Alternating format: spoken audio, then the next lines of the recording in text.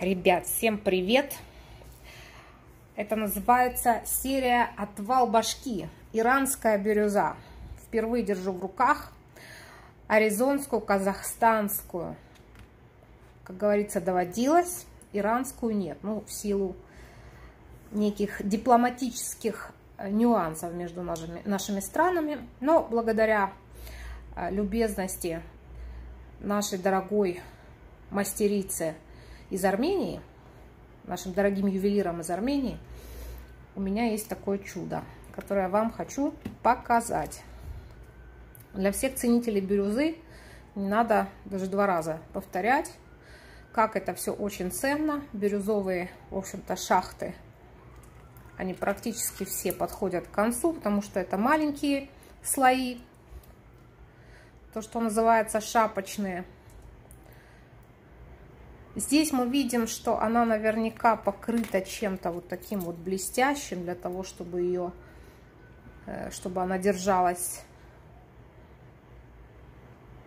Мне так кажется, я не специалист, но может быть просто она отполирована. Но, ребята, как вы видите, это очень крупные натуральные кусочки. Вот можно увидеть с этой стороны.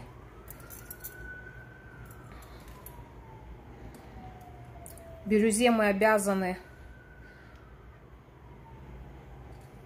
то есть не бирюзе мы обязаны, а бирюзой мы обязаны медным рудникам. Поэтому, собственно, и цвет синий-зелено-голубой. Короче, девчонки, отпад. Мне безумно нравится эта коллекция. Значит, что касается этого набора. Это, в принципе, идет, конечно же, как один набор. Но я понимаю, что один человек не потянет все это дело не по деньгам, мне, мне кажется, это немножко многовато. Поэтому я думаю, что как-то логично можно будет разделить. Например, кольцо пойдет с браслетом, а кулон, например, с серьгами. Это не просто кулон, это еще и кулон, который можно как брошь носить. Вот. Или я думаю, что можно, например, забрать э, кулон отдельно, браслет отдельно, и кто-то может забрать отдельно набор из серега кольца, но это только в случае, если кто-то отдельно заберет браслет и кулон, как бы. Как я понимаю, наверное, самые ходовые будут серьги, потому что они по цене получаются дешевле по весу.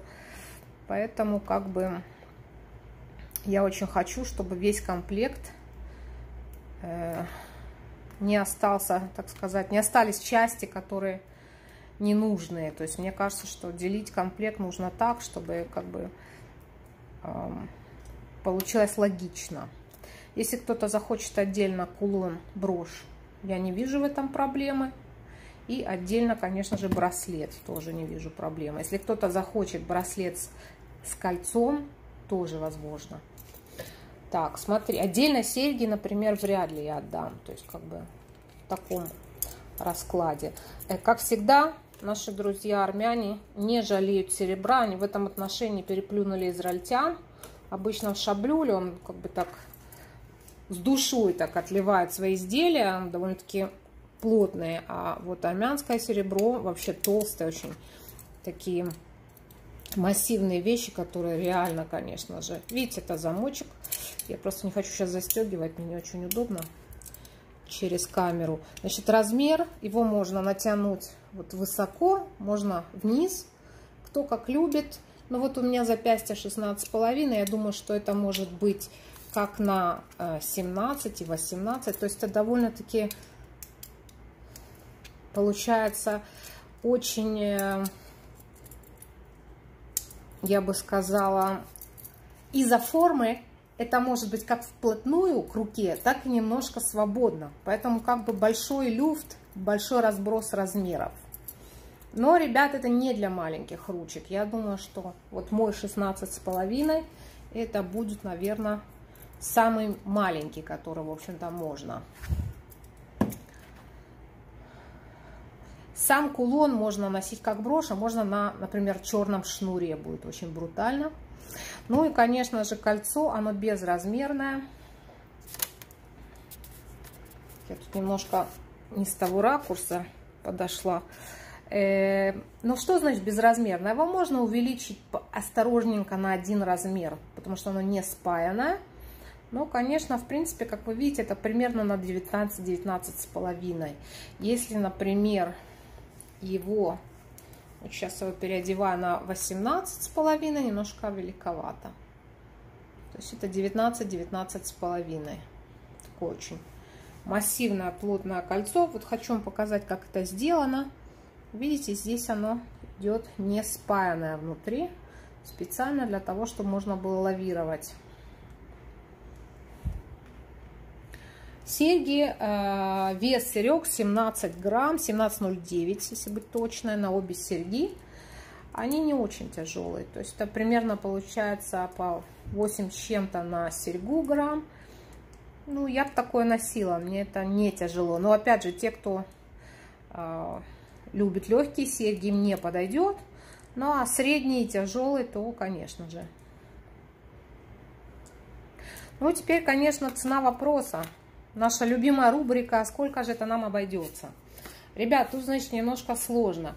В долларах это получается э, браслет, а, простите, брошь 191 доллар. Это очень дешевые цены, сюда не вошла таможня и сюда не вошло подорожание цен за серебро. Поэтому, ребята, в следующий раз это будет, конечно же, может быть порядка 50% дороже, я вам честно скажу. При том, что как бы моя минимальная прибыль останется той же. То есть здесь 50% это удача. Значит, 191 э, доллар брошь, 304 доллара браслет, 87 долларов серьги, по-моему, отличная цена для натуральной иранской бирюзы. Это очень дешево. Ребята, цена этих украшений дороже намного. И 111 долларов кольцо. Для девочек из Израиля вы должны умножить на 3.4 и добавить НДС 17% на всю сумму.